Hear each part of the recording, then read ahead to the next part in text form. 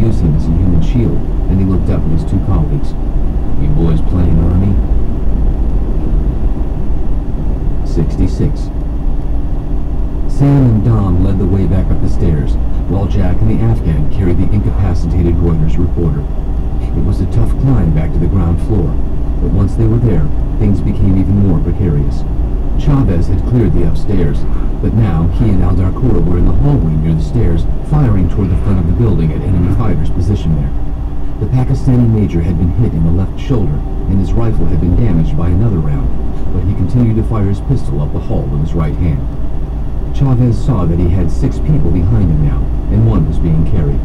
He nodded to himself and patted Al Darkur on the shoulder.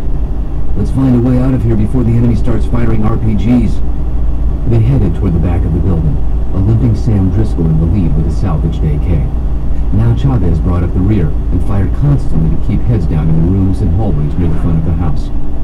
The hallway came to a T, and Driscoll went right, with the rest of the procession following behind. Sam came upon a large room at the back of the house, but the windows had been ripped up and there was no door. No good, he shouted. Try the other direction. Chavez led now. He was surprised that the fire up this stretch of hallway had lessened noticeably. With Ryan and Caruso firing down the base of the T, Chavez and Al Darkur darted across and then ran into a long, narrow kitchen. There was no exit here, but a small side door looked promising.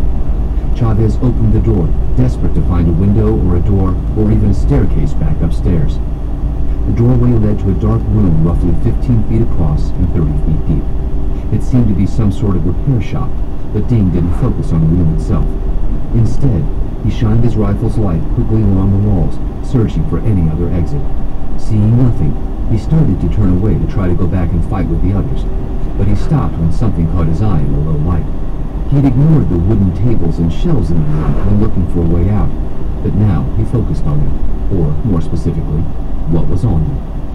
Containers of car parts and electrical components, batteries, cell phones, wires, drums of gunpowder, steel pressure plates, and a blue 55-gallon drum full of what Ding immediately assumed was nitric acid. On the floor were mortar shells, partially disassembled. Ding realized he'd stumbled onto a bomb factory. The improvised explosive devices created here would be smuggled over the border into Afghanistan. This explained why the Haqqani fighters hadn't fired a rocket toward Chavez and his team here in the back of the house.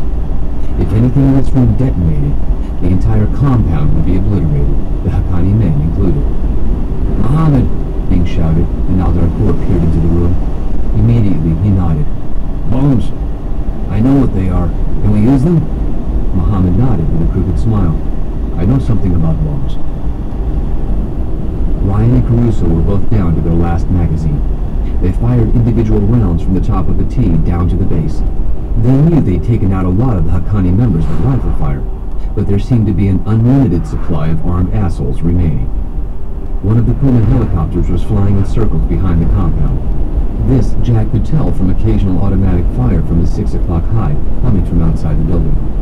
He could not actually hear the helo. With the gunfire in the narrow hallways, his ears were trashed, so nothing less than small arms fire up close or heavy machine guns at distance registered. Chavez appeared just behind the two men, sliding a fresh magazine around and into their chest rigs. While he did this, he shouted, There's a bomb factory